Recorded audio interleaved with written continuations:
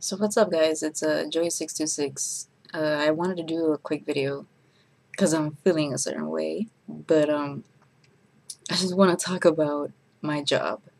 Um, lately I've been telling some of my friends that I would love to write a book or like a screenplay about my job and the characters and the coworkers my in there and uh, where I work and I tell people it's kind of like the cafe version of The Office. You know what I mean? We like I seriously have all those characters um, in my workplace. So there's this new girl that I wanted to talk about. Um, she's 20 years old. She's um, this white girl, and uh, she's not new, but because she used to work at the other location, so um, she works with us now, and it sucks because I have to work with her tomorrow and I'm really just, I don't know, I'm just gonna have so much anxiety and embarrassment because um, actually last Saturday I wrote some of the things that she actually said to customers or just the things that she randomly says to me. Mind you, she just moved to our workplace, you know, and just the way she speaks to people. She, I, I'm not close to her. That's all I'm going to say. So, the, this is the first thing. She grabs the French baguette. French baguette is like a long bread.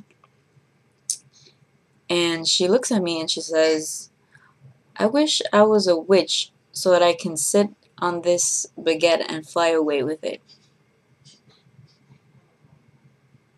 Okay, next. Um, I'm there like fixing the bread, whatever, and the croissants, and she just randomly comes up to me. This is the same day, by the way. And then she goes, I don't want to I don't want to fart in front of a customer. And I'm like, "Excuse me?" She's like, "Oh, I know this is this may be graphic, but I don't I'm I'm I'm I don't want to fart in front of the customers. I know in retail it's different. You can walk away, but I need a fart." And I'm like, dude, just go to the bathroom. And I just look away. And I'm like, dude, TMI, TMI, TMI. And I just walked away. And she was like, oh, okay. And she just stood there, like lost. Okay, next, same day. At this point, I'm like, what the hell is wrong with her?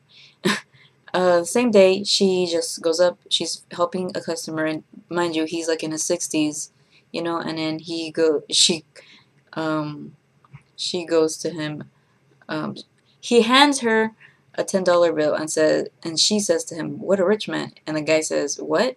She's like, "What a rich man!" And he goes, "It's a just a ten dollar bill." He looks so confused. And then she changed the subject, and then she asked him how old he was, and he started laughing, and he was like, "You don't ask customers how old they are." At that point, I just walked away. I just, just no, I just walked away. So I was just so embarrassed. Like, okay. And the first, this is the first day that I met her. We were talking about the train stations here in Miami, and I told her that a situation almost happened to me. And then she goes, "Oh yeah, um, I almost got molested in the train." Uh, and then she goes, "But hey, at least we know that we look good."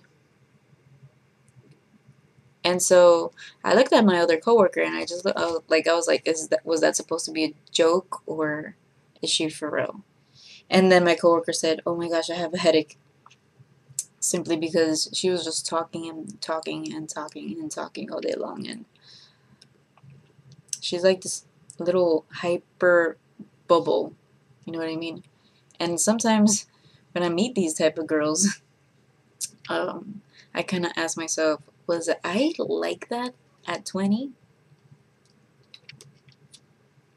I don't know because I think I um you know I, I remember having that personality but when I was like 13